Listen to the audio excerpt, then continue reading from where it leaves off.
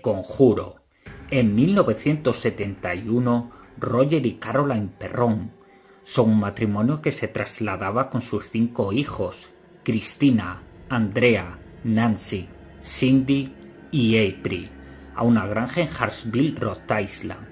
El primer día como propietarios resulta ser idílico a excepción del extraño comportamiento de su perra Sadie, la cual se niega a entrar a la casa y empieza a ladrar. Por otro lado, una de las hijas rompe sin querer un tablón de la pared y descubren un sótano con artefactos viejos.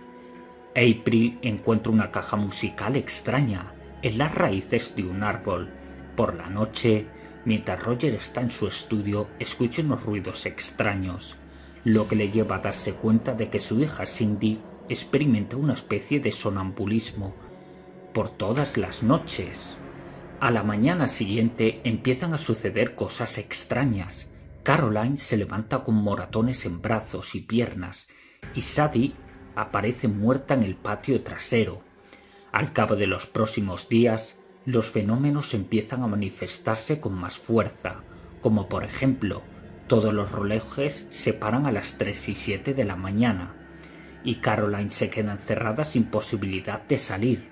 Allí escucha la voz de un niño, que preguntando si pueden jugar a las palmadas, grita horrorizada, pero nadie la oye gritar, ya que su marido se había marchado a Florida, justo en ese momento. Andrea ve como Cindy parece sufrir de nuevo sonambulismo, hasta que se percata de que encima del armario hay un espíritu que la agrede. Después de todo esto, Roger llega rápido y saca del sótano a Caroline y ve a sus hijas llenas de miedo. Tras los sucesos sufridos, Caroline consigue contactar con Ed y Lorraine Warren, que son dos parapsicólogos a quien le pide ayuda con la fuerza y la de su familia. Tras aceptar encantados, inician una investigación para recabar pruebas de que la casa puede estar poseída, en caso de que fuera necesario un exorcismo previo autorización de la Iglesia. Mientras investigan sobre el pasado de la propiedad, la pareja descubre que tiempo atrás la casa perteneció a Batseba Sherman, una mujer acusada por brujería durante el siglo XVIII y que ofreció al diablo su hijo como sacrificio antes de ahorcarse tras maldecir a todo aquel que entrase en su propiedad, la cual tenía una extensión de 200 acres, hasta que el terreno fue dividido en pequeñas parcelas, en las que también se produjeron sucesos como asesinatos y suicidios. Una vez regresan a la granja, los Warren traen a su equipo con sus artefactos para continuar con las pruebas. Cindy vuelve a caminar dormida y descubre un acceso secreto tras el armario de la habitación de Andrea al cual accede Lorraine, quien acaba cayendo por un hueco al sótano donde se encuentra de frente con el espíritu de una mujer que parece ser Batseba. Lorraine descubre que la bruja quiere poseer a Caroline por otro lado, Nancy es atacada por una fuerza invisible que la tira y arrastra con violencia del cabello. Finalmente, los Perrón deciden marcharse a un motel mientras los Warren acaban con la investigación y les llevan las pruebas a los miembros de la iglesia, con la esperanza de que den visto bueno para realizar un exorcismo en la propiedad. Sin embargo, los párracos les comentan que antes de hacer nada deben recibir órdenes del Vaticano. No obstante, los problemas siguen, esta vez con los parapsicólogos, puesto que el espíritu de Bathsheba pretende atacar a la hija de los Warren, Judy, a través de Annabel, una muñeca que fue vista al principio de la película, aunque Ed y Lorraine llegan a tiempo para salvarla antes de que reciba algún daño. Mientras Caroline, tras ser poseída por Bathsheba, lleva a Christine y April a la casa con la intención de hacer una ofrenda de sacrificio. Ed y Lorraine encuentran a Caroline en el sótano tratando de apuñalar a April. Después de atar a Caroline en una silla, Ed decide realizar un exorcismo a Caroline, pero se da cuenta de que no hay tiempo suficiente para esperar a que llegue un sacerdote. Ed decide realizar el exorcismo por sí mismo, y en el proceso es atacado por Bathsheba. Aunque Caroline escapa e intenta matar a April, Lorraine puede distraer a Caroline de matar a su hija, recordándole un recuerdo especial que compartió con su familia, lo que le permitió a Ed completar el exorcismo, salvando a Caroline y April, levantando la maldición de Bathsheba para siempre. Al regresar a casa, Lorraine le dice a Ed que lo habían dejado un mensaje, que habían obtenido la aprobación de la Iglesia Católica para realizar el exorcismo. También tiene otro caso por investigar en Lord Island antes de irse. Ed agrega una caja de música de la casa de los Perrón a una colección de artículos que él y Lorraine han guardado de casos anteriores. Al salir, inexplicablemente se abre y se escucha una música. Y así era la historia de la familia Perrón de The Conjuring 1, como también en vídeos anteriores he profundizado la de Expediente Warren 2, la llamada del conjuro, el poltergeist real de Enfield, el caso Enfield de Inglaterra, que también la puse al canal.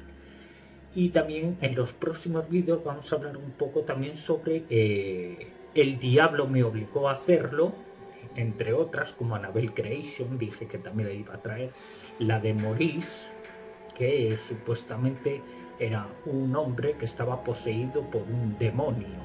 Y como sabemos, Ed Warren realiza ese exorcismo a Maurice, el franco-canadiense, y Lorraine, que como sabemos Lorraine se siente mal, como se cuenta en algunas partes de la película, en un audiovisual donde enseñan Ed y Lorraine a unos seminaristas, están en un seminario y le enseñan a estas personas eh, como sabemos en el caso del Conjuro 1, cuando eh, Caroline, la de los Perrón, que luego es poseída por Bathsheba, un demonio terrible, en una casa de North Island, pues eh, justo en ese momento le explican qué es lo que sucedió cuando intentaron sacar a ese demonio de ese hombre que estaba poseído.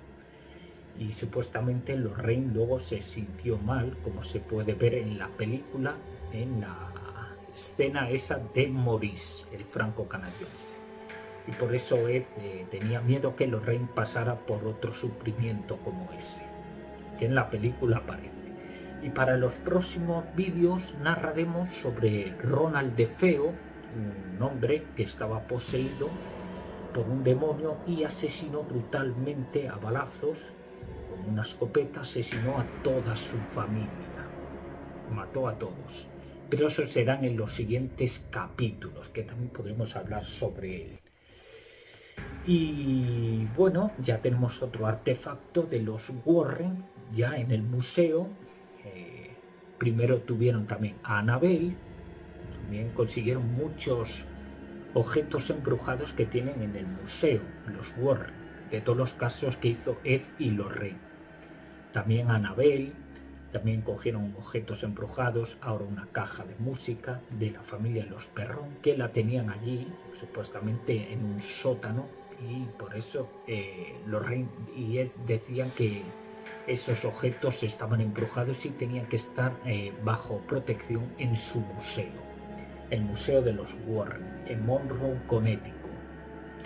Y bueno, hasta aquí el vídeo de hoy. En el próximo no sé si subir primero el caso de Maurice, el franco-canadiense, o si no subir eh, el caso real de la siguiente que es eh, Anabel, la creación, la creación de la muñeca, de cómo una niña de 7 años tiene esta muñeca Radi Di conocida como Anabel, cuando hay un trágico accidente y muere la hija, y se cuenta que el padre de la hija, el señor Mullins, pues hace una muñeca de Anabel llamada Anabel y le invita a ese demonio a su casa, pero eso lo contaremos en los próximos vídeos. Hasta aquí el vídeo de hoy, espero os haya gustado y nos veremos en el siguiente vídeo que supuestamente subiré la de o la de Amityville de Ronald de Feo,